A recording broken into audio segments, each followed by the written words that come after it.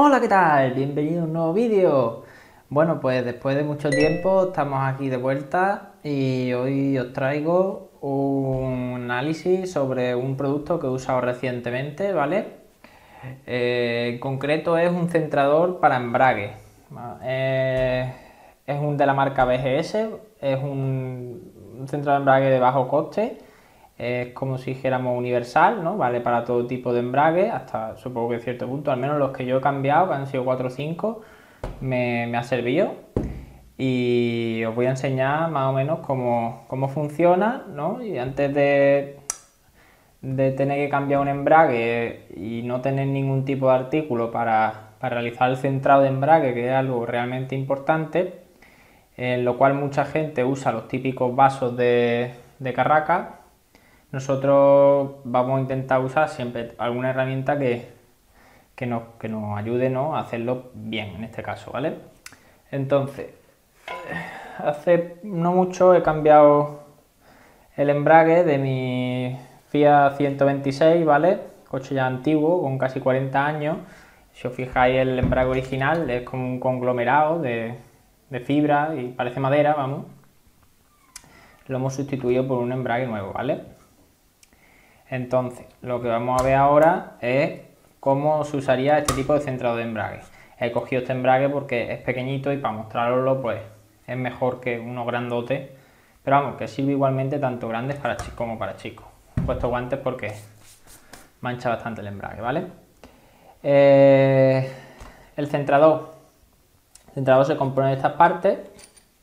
Es un espárrago con su tuerca trasera Luego tenemos diferentes cabezales, estos son los cabezales que vamos a usar, que la diferencia es la cabeza.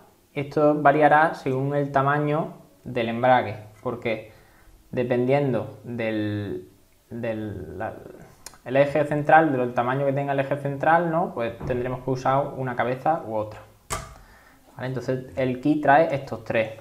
Supongo ya que si son embragues grandísimos, pues tendremos problemas o embragues específicos que a lo mejor tengan su kit de centrado especializado y demás. Y como ya os digo, no soy mecánico de profesión, simplemente pues arreglo mis propios coches y demás y, entre ellos pues cambio embrague algunas veces, ¿no? No mucho porque evidentemente no tenga que cambiar, pero para hacer ese trabajo pues recurrí a este centrado de embrague que la verdad tiene un precio bastante económico, os lo dejaré en la descripción para que veáis el precio y siempre pues te saca de, un apuro, ¿no? En vez de tener que usar la típica llave de vaso y que se mueva y demás, pues siempre lo podemos usar, ¿vale? Pues bien, lo que trae esto. Entonces, ¿cómo funciona? Pues básicamente tenemos el eje, seleccionamos el que queramos para el embrague.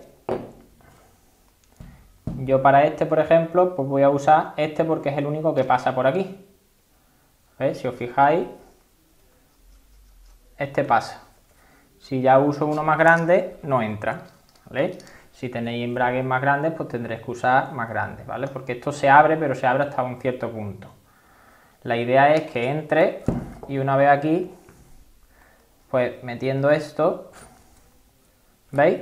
Se abre y ya no deja escapar el, el de este, se queda ahí retenido, ¿vale? Pues vamos a montarlo.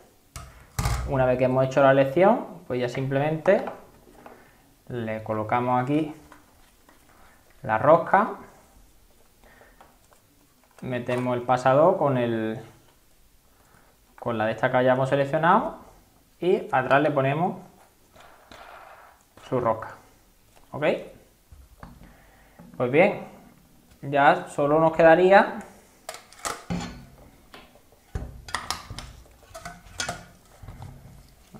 hacerlo bien.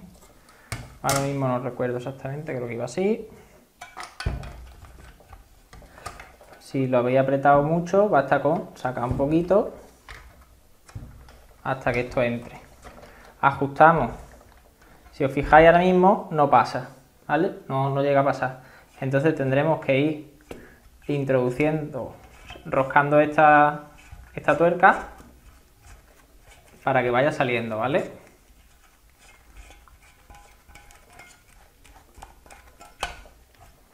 ¿Veis? Ahí, si os fijáis, ya Lo tenemos fuera. ¿Sí? Listo. Y ahora ya solo tenemos que apretar el amarillo. La tuerca amarilla. ¿Ok? Si veis que, que eso acaba la tuerca amarilla y que todavía no habéis apretado lo suficiente, pues le podéis dar un poquito de rosca a la parte azul. Pero vamos, la idea es que ahora lo centramos en su sitio visualmente, que se quede centrado. Apretamos un poco.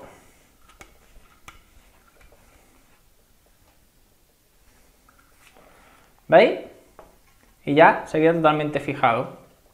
Ahora ya solo tendríamos que poner el embrague en el volante motor, contra el volante motor. Colocamos los tornillos. apretamos y soltamos. Para soltar, pues aflojamos la azul y aflojamos la, la amarilla.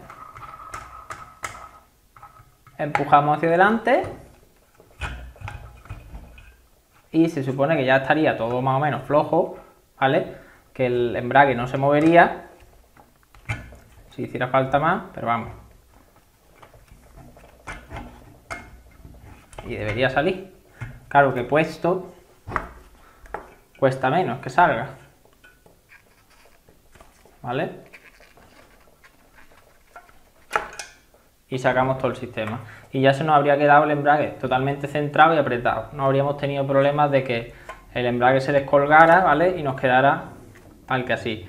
Luego al pisar, pues realmente mmm, crujiría, ¿no? Sería un claro, claro. Algunas veces si lo centran mal, cuando pisa el embrague un par de veces, suena unos, unos clas muy fuertes y se acaba centrando solo, pero no es recomendable, ¿vale? Eh, pues ya está, no tiene más historia.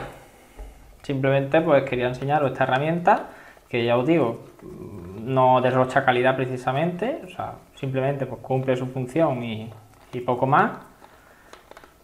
Pero vamos, a mí me ha hecho la bio para cambiar los pocos embragues que tengo. Si tenéis si vaya a cambiar un embrague o solo con un embrague, yo creo que también os compensa, no, no hay problema. No es excesivamente caro. Ahora mismo no recuerdo cuánto me costó, pero vamos. Abajo en la descripción lo, dejo y ya está. Y eso, que tengáis en cuenta que, para cada uno pues tendréis que usar un tipo de, de cabezal ya está. Hay más centradores en el mercado, los hay mejores, los hay más caros, los hay más más baratos no creo, pero vamos, que para un uso esporádico y ocasional, como el que hemos hecho nosotros, que es cambiar dos o tres embragues en los últimos años, pues a mí me ha servido bastante bien y me ha cumplido me ha cumplido su función. El, empaquetado si era simplemente un cartón con el de este montado y sus instrucciones que, como podéis observar, es prácticamente nulas, ¿no? Pero vamos, aquí os, indica ya los pasos a seguir y no tenéis mucha más, más historia. Viene en inglés y en alemán. Es BGS, marca alemana, así que... Y nada más, comenzamos otra vez con la serie de vídeos después de las vacaciones y iré subiendo más vídeos. Si queréis algo en especial, si os gusta algún tipo de, de vídeo en especial, pues ya me vais comentando y, intentaré, intentaré hacer review, ¿vale? Pues nada, un saludo y nos vemos en el siguiente vídeo. Hasta luego.